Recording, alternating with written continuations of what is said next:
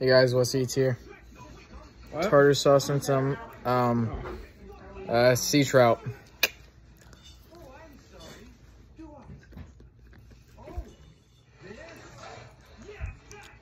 Watching Shrek. 10 out of 10.